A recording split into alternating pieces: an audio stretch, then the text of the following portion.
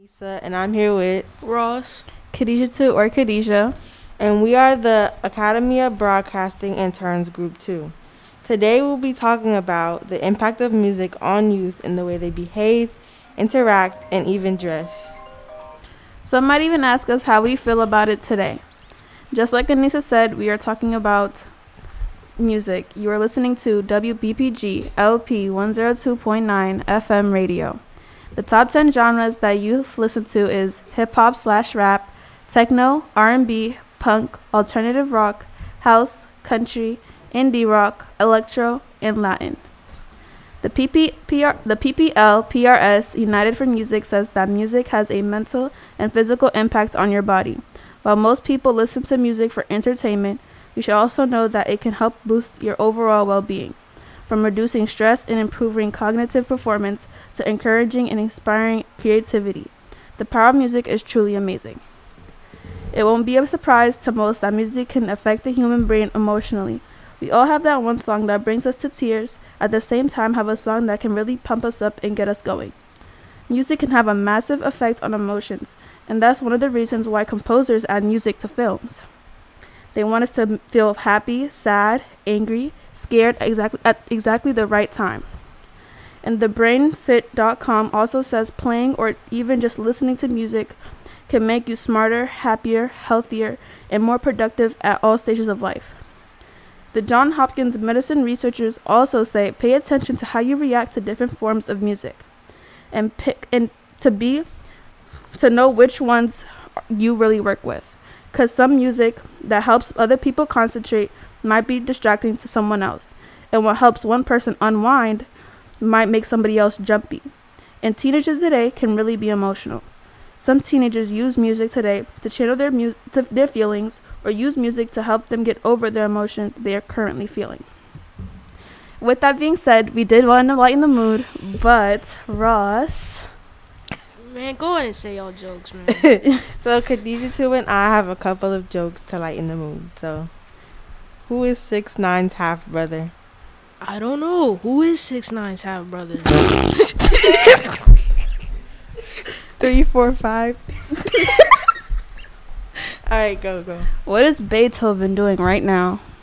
I don't know. What's he doing? He's decomposing. Ah! what a knee slapper. Okay, anyway. So, fashion in common with music says more about our culture than we give it credit for. Since the 1920s, with the jazz and women wearing loose flapper dresses, to the present, with rap and youth wearing tight jeans while sagging their pants with belts. Also, sagging started in the U.S. prisons in the 1960s as a result of restrictions being placed on belts and um, shoestrings to because you inmates would use them to commit suicide or inflict harm on other inmates or guards. That is why some of the older generation is upset with this trend. With this trend, but we can tell by the bell-bottom jeans worn by hippies in 1969 and the tight skinny jeans worn by emos in 2005 that music has impacted fashion. But hip hop has also impacted fashion in the 1980s, which slowly evolved from the 1990s. The hip hop community started getting influenced by traditional African American dressing, bright colors, large pants, and headwear, and headwear were the elements which inspired the style of dressing in the early 1990s. Music and fashion became associated because they allowed you to freely express political beliefs like individuality and sexuality, and music can also influence mood and emotion. For that exact reason, it is used in fashion shows to set the tone and the mood based on clothing items. And before Ross goes, I have a question. What is one of y'all's favorite fashion trends? It's not really a fashion trend, but um, the artist Billie Eilish, she wears a lot of baggy baggy clothes, so she isn't judged for what she looks like underneath, and so she's not. So her body doesn't represent who she is as a person, which I really respect, and I also like baggy clothes a lot as well. So Yeah, I agree with that. What about you? Yeah. Yeah, that would have to be my favorite. Yeah. All right. Well, to tie into Anisha's point, um, a new branch of rap that has been forming since the early 2010s. Drill music has played a part in fashion as well. Um, with the arise with the rise of uh, saggy pants and ski masks, drill is a branch of rap that can be compared to trap music. Both are about life in the streets, but while trap music is about the trap, hence the name, and the violence of the things, drill music is also about the violence, but with a more aggressive, dark, violent, and about violence in in the areas. Um, if someone says we are doing a drill, it means someone is going to get hurt. Um, these aggressive themes are evident in music videos. Um, drill rap originated in the south side of Chicago in the early 2010s and was made popular by rappers Chief Keef, Lil Reese, Lil Durk, and others with songs like Sosa. Y'all know that song, right? Mm-hmm. Yeah. And uh, what I don't like, New York is another drill hub in the U.S. Brooklyn, and UK drill emerged in the mid 2000s. Earlier, him and his crew were arrested on weapons and conspiracy charges in 2014. There are speculations that the lyrics from his song might be cited as evidence. Um, I can't say the lyrics on here, but it is pretty graphic. Um, the song was eventually not referenced to court, but still it played a big part because both Bobby and his friend still served more than six years in prison. So, which leads to my question for y'all: How do y'all feel on court using these lyrics in in their cases for the rappers? You could go first. Um, before I answer the question, you're listening to WBPG LP 102.9 FM radio. And if you have any questions, comments, or concerns, please call 617-282-0685. And my like my two cents on that is I don't really have an answer to that question because I feel like a lot of rappers or a lot of p- artists use like they com- say what they did, their crimes in their music. So it's kind of hard to like kind of look away from that if that makes sense. Okay. So I've I've also seen about um there are labels that push rappers, drill rappers, um uh in general to talk about more of these lyrics because it feel it gives them controversial, which gives them more ratings for people to look at their songs. How do y'all feel about that? Mm, I feel like I don't know. You could go first because I don't know. You you answer the question. Oh, me? Yeah. Yeah. Oh, okay. Uh, I don't know. It's it's on both sides. You're gonna see a cause and effect. The cause is that you're going to see the rapper be in trouble, but you'll also see the rapper uh get more fame because people glorify this, which I don't agree with. But we have a question. We have a question here. Um, it is. Oh, we don't have a question. Sorry. It's okay. That's fine. That's fine. I thought we had a question. Never mind. Yeah. But my question, I have a question for y'all. Um, now here's the opposite. There are rappers pretending to do drill or pretending to be from what they're not. What do y'all feel about that? Um, I think it takes away from the people that actually have went through things and you know, you know what they call it, making it out of the mud, and you know, building themselves up and you, you know, kind of making themselves secure in life and yeah. Yeah. Um, I agree with you on that. I never went through that, so I couldn't really speak on it. But And if it was like to happen to me, like if I was an artist and I went through something and I used my music to express that, and somebody took my story or not copied me, but like acted as if they went through the same thing, that would make that would like piss me off. That would make me mad. So like, what if what if he like, like say if it was you, like he copied your whole lifestyle, like the way you get up, the way you go to work every day. How do you how you want to feel some type of way? You feel some type of way? oh yeah, I would if you copying me. But like if you're just speaking on something that you haven't done, then what did that have to do with me? Huh. Interesting. Yeah. So, um, a little light. How did? Who is y'all favorite drill rappers and why? And not why. What is y'all favorite songs from that rapper? Um, my favorite f- drill rapper was Pop Smoke before he passed. Um, and my favorite song of his is Dior. Okay. My fa- I have two favorite drill rappers, Set the Trend and J Bucks, and my favorite song by them is EOS. All right. Uh, mine either has to be D Thing or Use G's. Um, I like his freestyle and yeah, I like his freestyle and Use G's. I don't remember his song, but I just like like his music. So yeah, those So- are my questions. So I have a couple questions, and because we're ta- on the topic of drill, I'm gonna ask a drill question. And the reason why I'm asking these this question is because um, a lot of youth in our generation they listen to mostly drill music. So, what do you think current hip hop like drill is doing to youth, like academically, emotionally? Like your friends listen to drill, right? Yeah. have you ever seen like any effects on what drill has done to them? Because I know personally a couple people you know dropped out of school to do music. You know what I'm saying? So Yeah. Um it goes both ways. There are some people who like listen to it to get pumped up, which is the main reason I listen to it. Um which is the main reason I listen to it because it just gets me in a mood where I feel hyped. I don't feel sad like in the moment it feels good, but when you go when you listen to the lyrics it's pretty bad, which is the reason why mhm. most adults have problems with this type of genre. I think sometimes like it can influence the youth to try and do the stuff in the songs. Like if I'm not gonna say that, but like it could just like make them want to do that type of stuff that they do in songs. other than the like the negative part about like the lyrics and stuff like that, um, drill can also be something a way to like to pump yourself up, like at parties. You know, you, like you said, dancing and stuff like that. There's Yeah. dancing within drill, so you know I think that's a positive outlook on it. So yeah. Another question.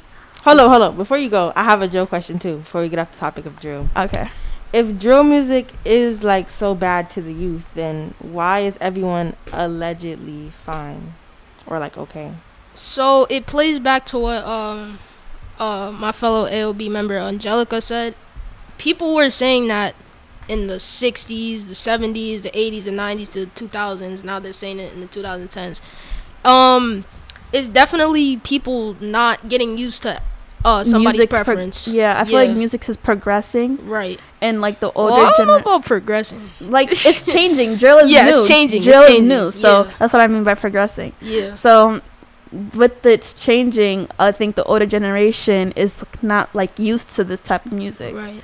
So Yeah, Yeah, it's all about it's all about that. It was it's been going on for years and years and years, Yeah. decades, decades, centuries, centuries. It's all about yeah, we're I'm not I don't know the future, Mm-hmm. but in the 2000s they turned out pretty much fine. Not 100%, but they Yeah. were fine. So, yeah, that's it's just preference. That's all it is.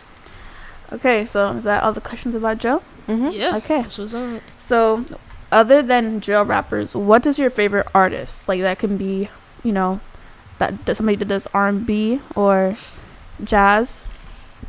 All right. Mine, you No, want no, to go ahead, go All ahead. right.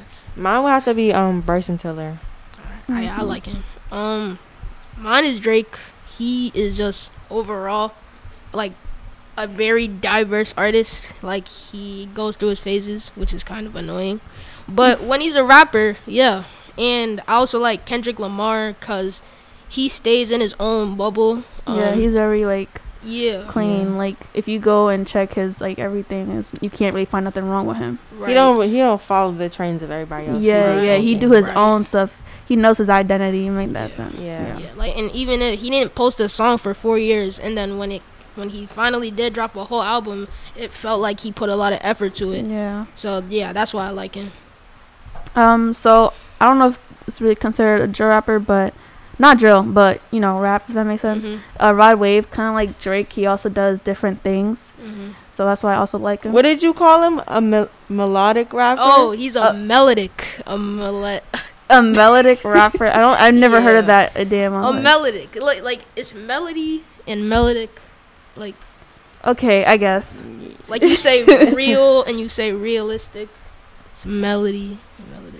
Okay. like um. So the you said you guys your favorite rap um artist, right? Yeah. So when you listen to these artists, how do they make you feel? Yo, you you should go first. um, Bryson Tiller. Well, it depends what song. Like Mhm. sometimes it makes me like you know hype, and then sometimes it makes me want to cry and slide down a wall, and yeah. Yeah. And again, this is WBPG LP 102.9 FM radio. If you have any questions or comments, please call us at 617 282 0685. That again is 617 282 0685. Yeah. Um. Uh, good job with that. That was that was clean. That was clean. But uh, my the way Drake makes me feel is, man, Drake's me. Drake makes me want to open up a bank account. like he want he makes me he makes me want to invest in some like in some Apple or something. He makes me want to like put a down payment on something. I don't, I don't even know what that is, but Drake's makes me feel like that. but, nah, but but for real, uh, Drake Drake makes me feel like however I'm feeling. If he makes a rap song, he makes me hype a little bit. If he like makes a chill little song, I'll be chill. Or like, the only thing I don't like about Drake is his pop phase, which is his like lover boy phase. I don't like nah, that. his pop phase was good. Okay, I see we got different opinions on that. Nah, because when you like when you really just in the mood to just sing, Mm-hmm. you turn on a Drake song. Mm-hmm. See, the problem is I can't sing, so like well, that's that sounds like a personal problem. wow. Yeah. Okay, like I said, that um, music can affect people emotionally. So I feel like Rod Wave, Mm. um, he kind of a lot of people go through stuff. Like everybody has their own journey, everybody has their own experiences. So and um, Rod Wave isn't so like um general. Like it's not it's not specific at all. It's general and it's more like you can still sing to it even if you've gone through different things. Like you, my experience and your experience are different, right? But we can both vibe and listen to Rod Wave and still connect to what he's saying in his lyrics, hmm Yeah. which is why I like him a lot. Saying yeah, Drake, universally loved. He's Yeah. universally loved. You said, Yeah. you said you liked his Arabic song that he. Oh yeah, he's so diverse. Mhm. He's so diverse. Let me not make this a Drake podcast, but, but he's so diverse, man. Like makes you want to go check check in a go give your check to the bank. Makes you wanna Makes you want to withdraw some money yeah from bank. yeah. It makes you yeah makes you want to pay rent or something. Yeah. Pay a bill. Okay, other than hip hop. okay, other than hip hop and rap, what other genres of music do you like? You can go. Ladies first. Um, I like R and B, and yeah, I like R and B. Yeah, yeah. I'll go R and B too.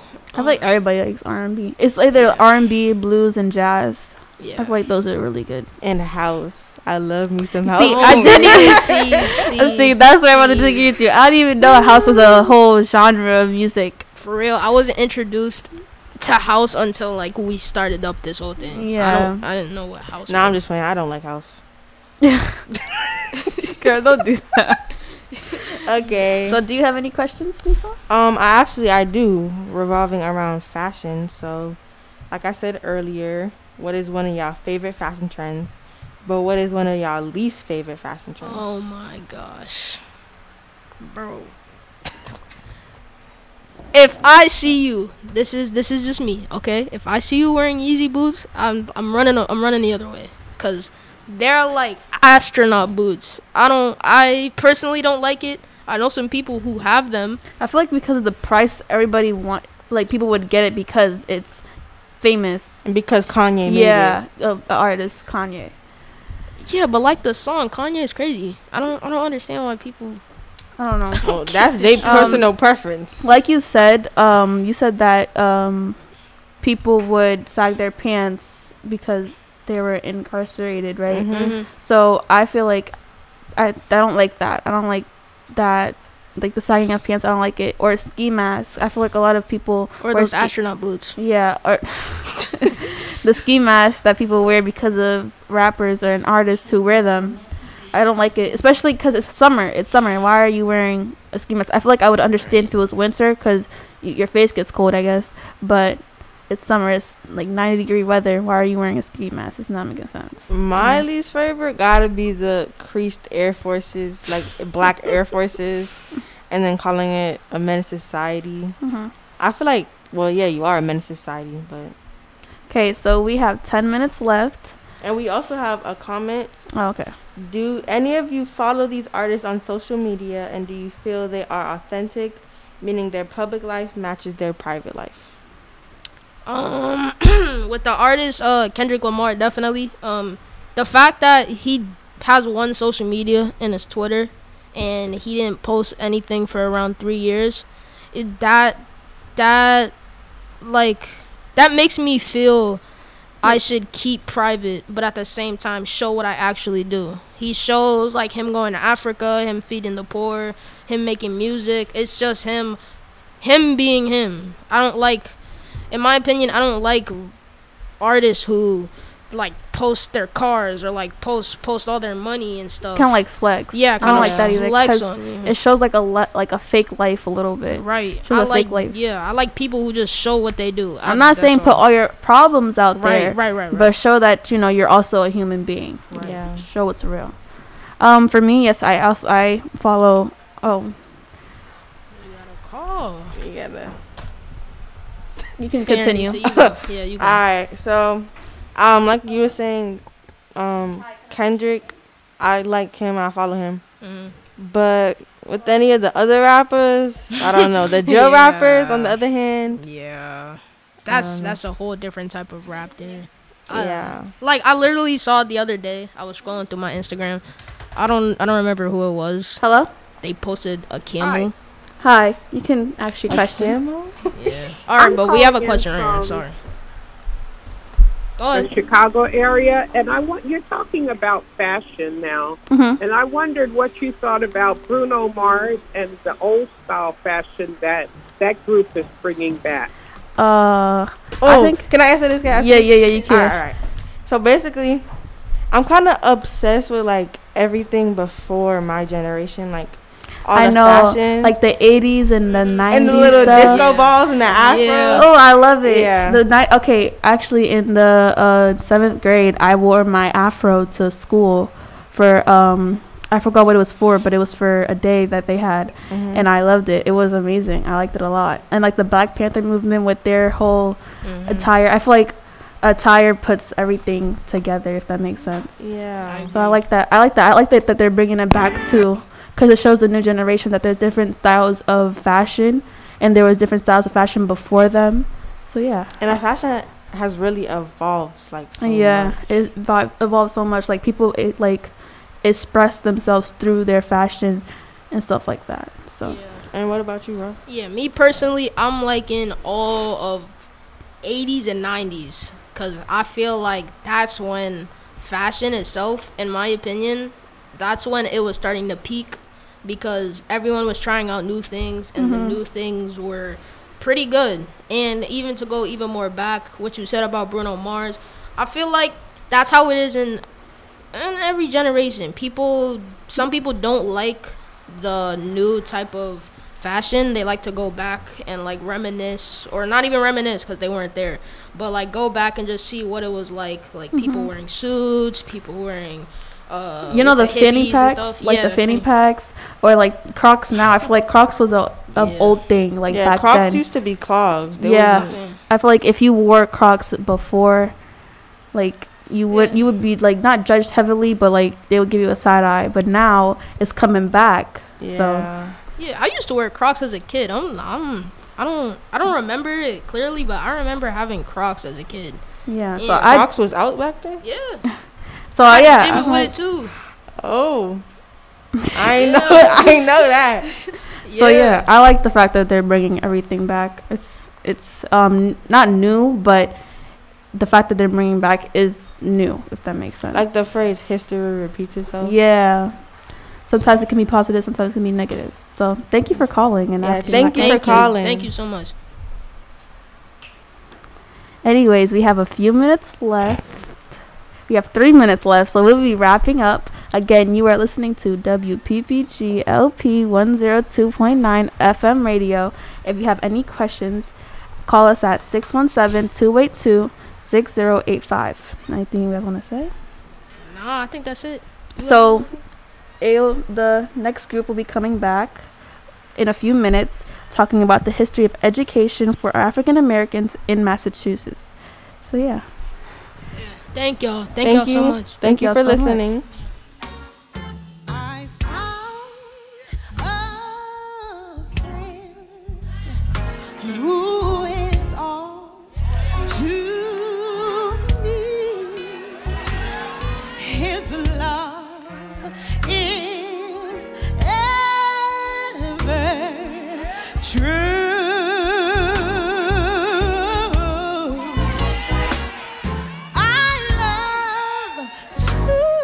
What's good, everybody? Welcome and thank you so much for tuning in to WBP, WBPG LP 102.9 FM Boston Praise Radio. You are listening to the second live broadcast of the Academy of Broadcasting. We are so happy to be back with you all on this great day. Today we will be touching on the history of education for African Americans in Massachusetts. I am Brienne. My name is Cameron. And I'm Angelica. Within the next 30 minutes, we have split into t- three 10 minute sessions where three topics we have each researched within the history of education of students of color. These three will be the Boston busing crisis, the school to prison pipeline, and students of color in suburban schools. While we're discussing, please feel free to call in at 617 282 0685 or comment any questions into the chats. We'd love to have a conversation with everyone. Our first topic here will be on what is commonly known as the Boston busing crisis. In 1974, Boston public schools were required to integrate through new bus systems. Segregation was illegal in the city of Boston, but still very present. The Boston School Committee's districting policies led to segregation through underpaid and understaffed schools in the black communities. These schools received two thirds of the funding that white schools received. The 1965 Racial Imbalance Act stated any school with a student population where 50% of students or more are one race is considered segregated. And at the time, 44 Boston public schools fell under the definition of a segregated school. The Bo- but the Boston School Committee refused to take action. So the African American parents decided to make a stand by organizing protests and they also opened freedom schools, which are meant to be more inclusive schools. In 1966, the Metropolitan Council of Education Opportunity, also known as METCO, was established. METCO allowed for African American students to have access to suburban schools.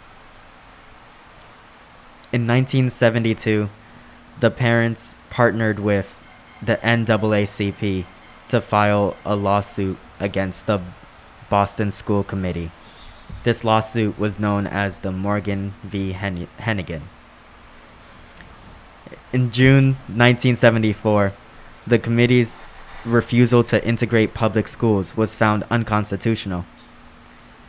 So, a Boston the busing plan was put in place under the oversight of George Wendell Garrity. Protests erupted in the summer of 1944, which was led by Louise Day Hicks, chairwoman of the Boston School Committee. She also led the main anti busing group named Restore Our Alienated Rights, also known as ROAR. ROAR led often violent protests, sit ins, and prayer circles while they actively worked to intimidate, intimidate black school children. Roar also organized a protest where thousands marched upon the Massachusetts State House to protest the desegregation of these schools. But in September 12th, on September 12th, 1974, the Boston busing began. Violence broke out, and the National Guard had to come settle down the white mobs. In the 1974 to 75 school year, 18,000 students were bused, and 30,000 white students unenrolled from Boston public schools and enrolled in suburban private schools. This busing program lasted until 1988. But today, 70 uh, 54% of Bostonians are white. 14% of them go to Boston public schools.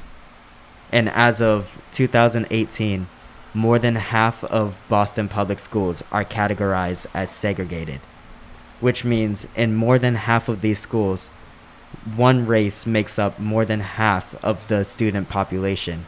which is more schools than were segregated in 1965. At many Boston schools today, 90% of all students enrolled are students of color. Again, you're listening to WBPG LP 102.9 FM Boston Praise Radio. We're currently discussing the history of education for African Americans in Massachusetts.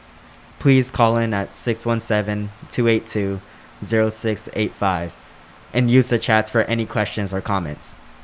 Each of us have researched different topics about the umbrella under the umbrella of education for African Americans in this state. And we will we will be very happy to open the conversation um, both for questions and comments to all of you about the Boston busing crisis. So before I get my section started, I wanted to. Brianne, you were a Metco student, right, or are? Yes, I was a METCO student. Okay, can you tell us a little bit about what that was like? Well, basically, I went on a bus every day, but I had to get up super early because school started around like 7:30, and so I had to get up around five so I could get on a bus every day with a bunch of other students who were also in the METCO program, and they would bring us to.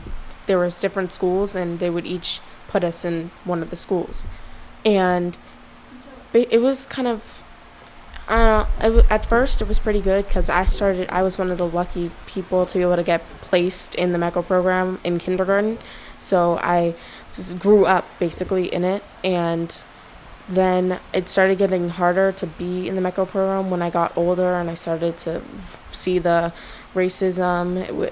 And started realizing what was actually going on in my school and the history itself being um, painted over and in history class. So it was like and that's why i'm not in the METCO program anymore.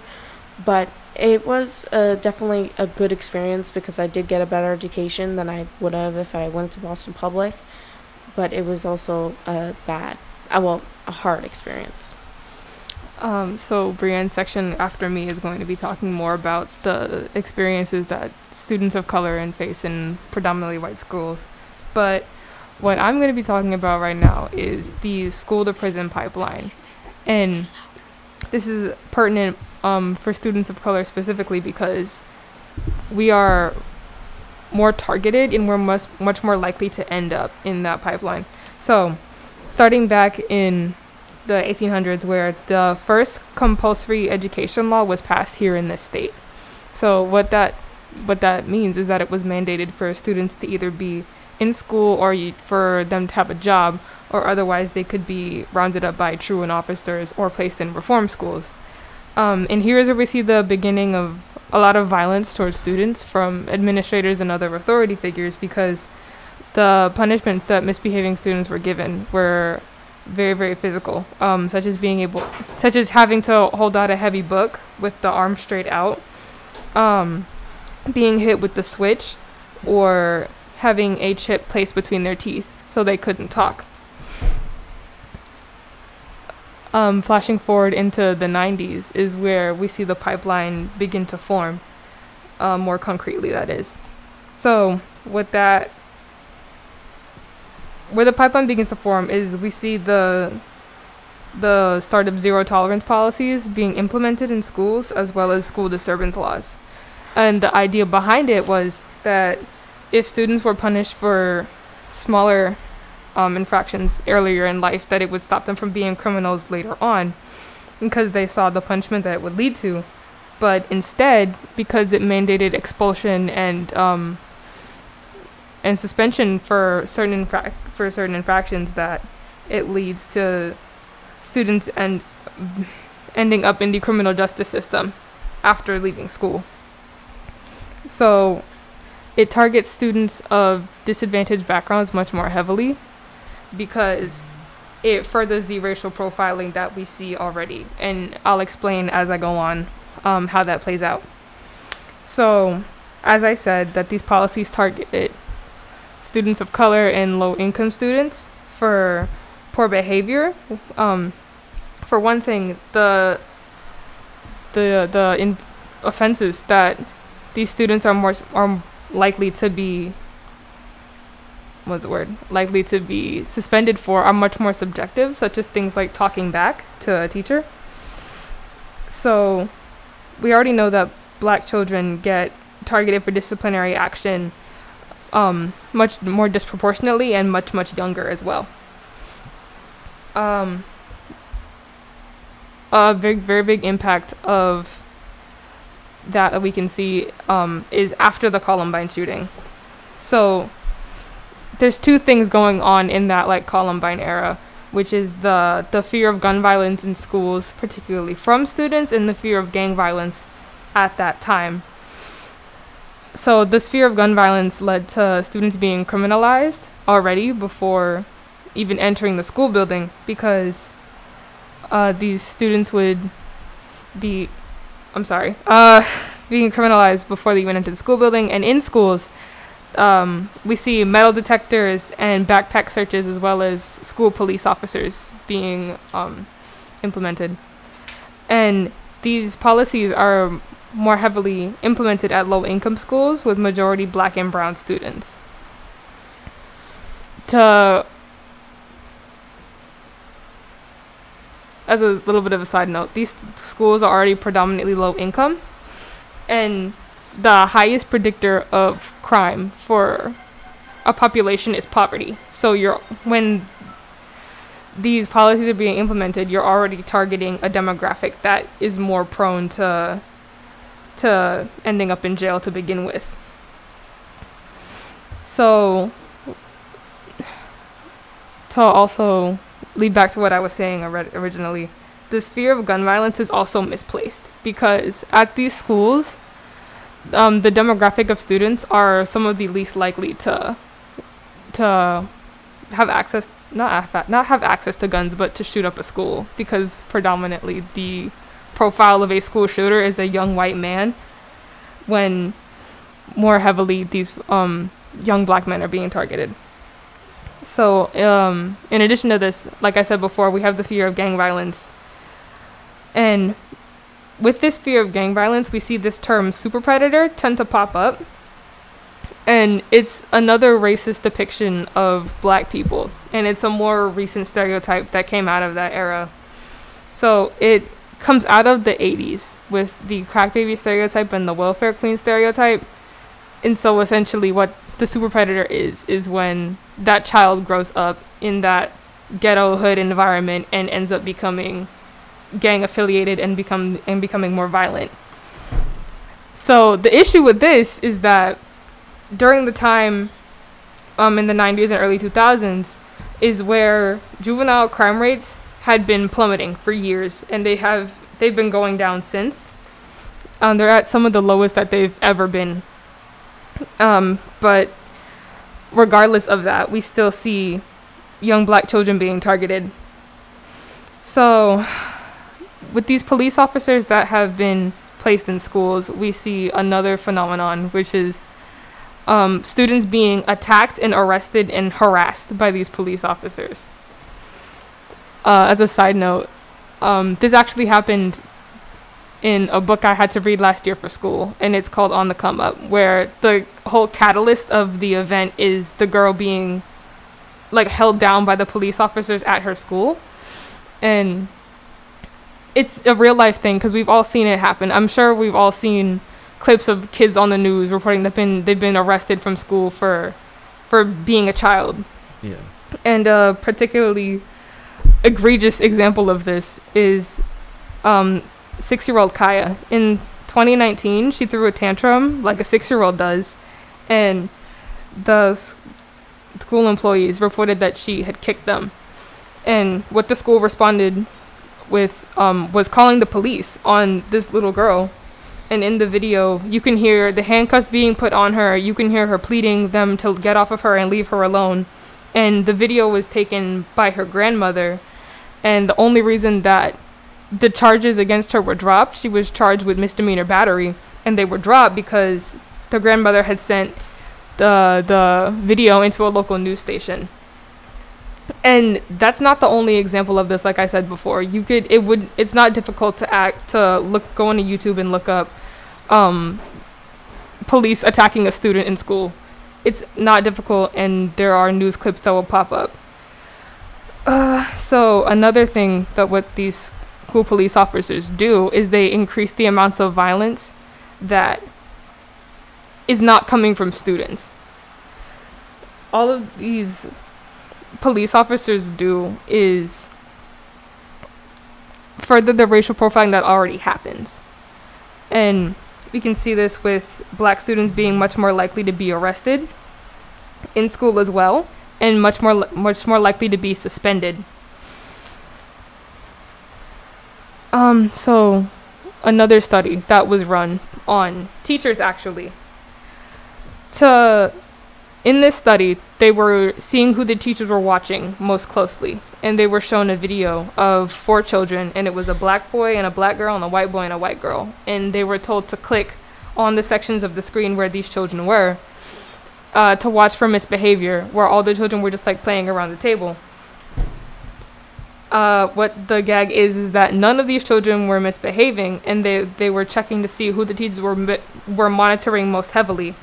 And who the teachers were monitoring most heavily was the little black boy. And when I say like little, I mean these kids are like six year olds, like max.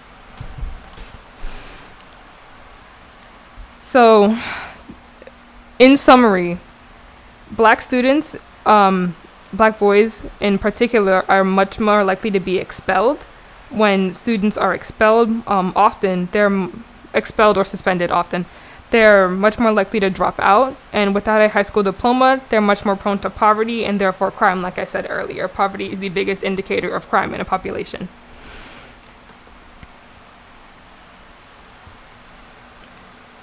By criminalizing really, really young kids from the start, with these stereotypes that are put onto them, put onto them as adults, that are put onto these kids, it develops the mindset that um, consciously or subconsciously, that if they're only going to be viewed as a criminal, why should they try to be anything else?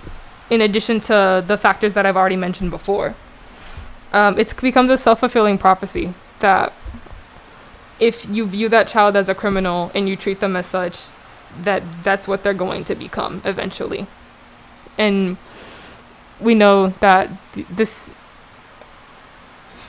this is, has been well documented, and we know for a fact that the biggest population of um, of inmates in the U.S. are black people, black men specifically, and the this pipeline is a large chunk of the reason for why that's the case. Um, that's the end of my segment, and I'm gonna let Brienne explain hers. Uh, so real quick before we do, uh, again, you're tuning in to WBPG LP 102.9 FM Boston Praise Radio. Uh, we are currently discussing the uh, history of African Americans in Mass uh, education for African Americans in Massachusetts, and uh, please call in at um, 617 282 0685. Again, 617 282 0685. Uh, we'd love to have this conversation with you. Well, I will be talking about students of color in suburban schools and their experience. Currently, the majority of Boston public schools and inner city schools are made up of students of color, while the majority of suburban schools are made up of white students. Now, these suburban schools where there's a bigger amount of white students, um, they also receive more, a lot more funding and have way bigger budgets than Boston public schools. And to help their um, help their kids, parents will try to put their students in better schools. So they'll try to put their kids, move the, their kids to these areas. But these areas are usually, these neighborhoods are very, usually very expensive. And so they'll put their kids in exam schools, Catholic schools, or programs like METCO. METCO um, is a program that was established in 1966 to bus students of color to predominantly white schools where they could get a better education compared to inner city public schools. Now, METCO really helps a lot of students in many ways, and a lot of them get a really good education at these schools. but many students of color feel can may feel isolated and sense a lack of diversity at these schools. Now, um, METCO really is basically a program that is for and well, it's for just students of color.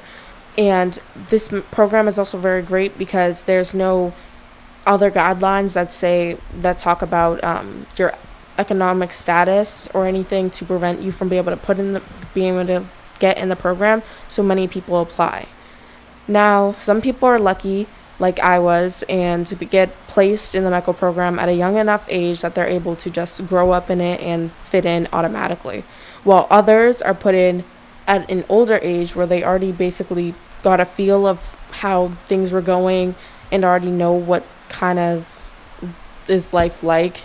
And so they have to basically start to fit in at this new place where there's a lack of diversity and, and go from a place where there was um, people, a lot of diversity and people who looks like them to a place where they can't even connect with their teachers or their peers.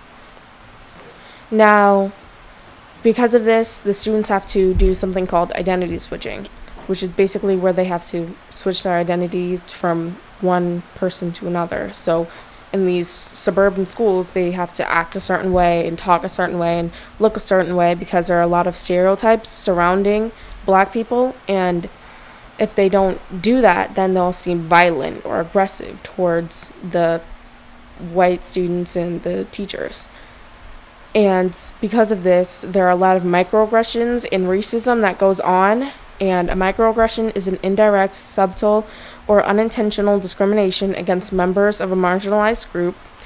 And they have to just kind of let it slide because the teachers and nobody else is going to stick up for them. And if they speak, they will get in trouble for something that they didn't do.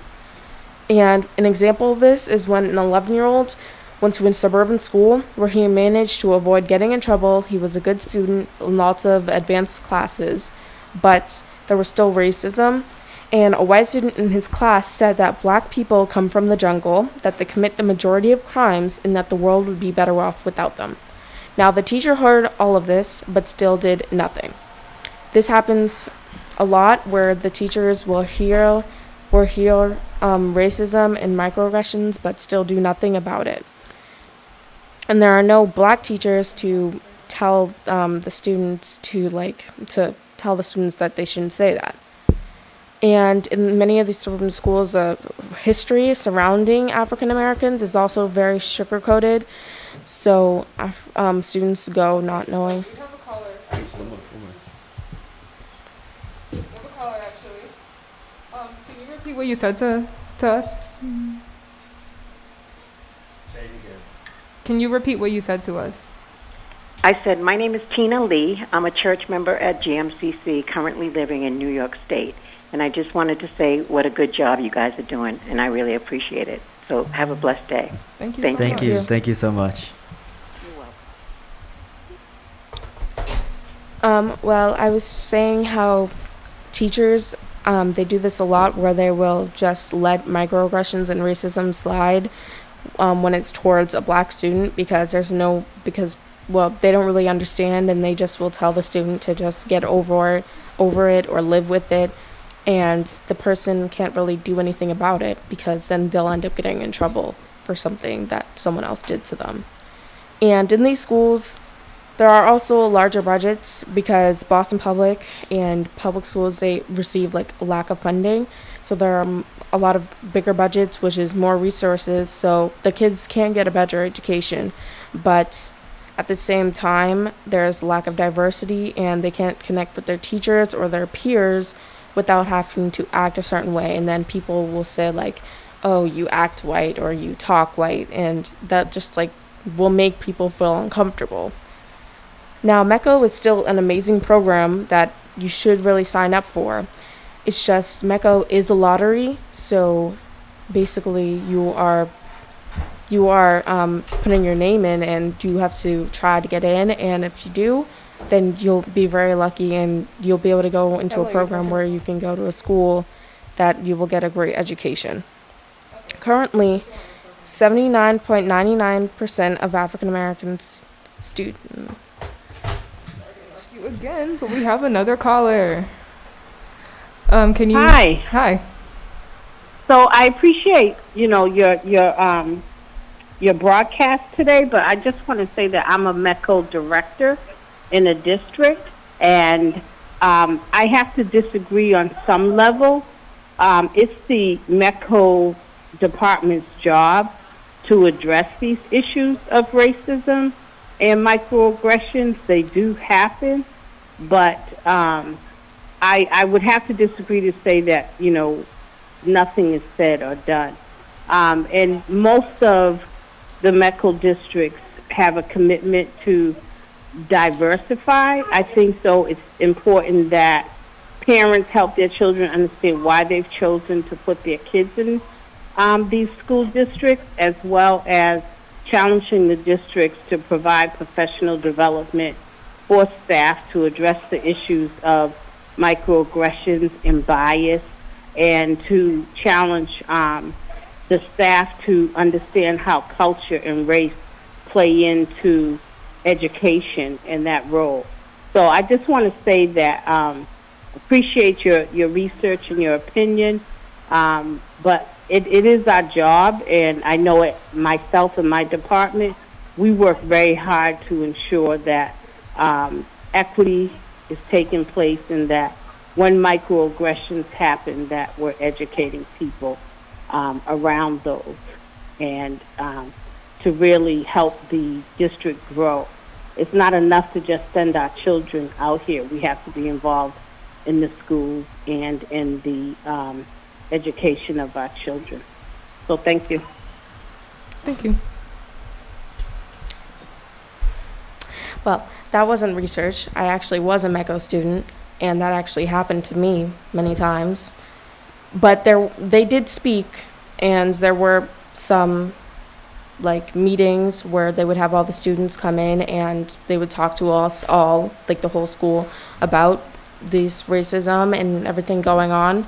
But I mean, it still did happen, and um, yeah. Uh, but currently, studies have shown that 79.99% of African American students graduated high school on time in four years in Massachusetts, compared to 92.7% of white students in Massachusetts that graduated on time. And so that just shows the difference and the the gap between the African American students and the white students and how they're receiving there's better resources for them than there some is for us a lot of the time. And once again, you are listening to WBPG LPFM Boston Praise Radio, and you can call in at 617 282 0685.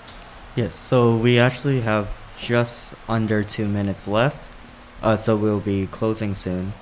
And um, I just wanted to quickly say I I went to a I wasn't a part of the METCO program, but I went to a school that had it, and it was just really shocking to see.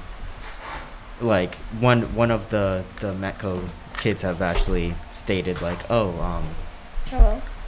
Out of the 2,600 kids in this school, there are only 150 African American students, and that just really I don't know why. That just really shocked me. I always thought that there were there was more and stuff. But again, we do have to um, end soon.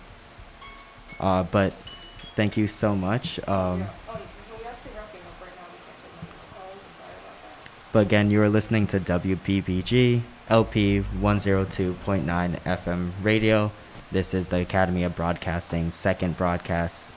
And please join us again next Tuesday at 11 a.m.